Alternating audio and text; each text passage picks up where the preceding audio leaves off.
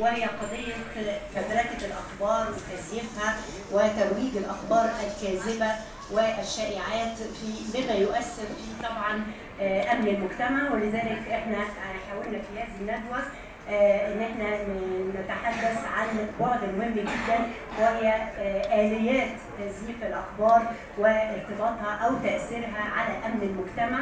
سواء كان الأمن الاجتماعي، الأمن السياسي، أمن المعلومات أيضا.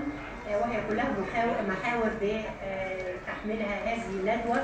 واللي ان شاء الله ستشهد فعاليات كثيرة وجلسات ثلاث جلسات. آه، وأيضا طبعا هنستمتع بالمداخلات من جانب آه، طبعا آه، قبل ما أتكلم على اولا نبدا فعاليات هذه الندوة. بتقدم بكل الشكر والتحية والتقدير.